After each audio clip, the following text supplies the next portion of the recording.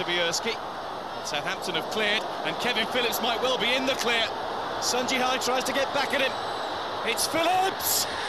It's a brilliant goal!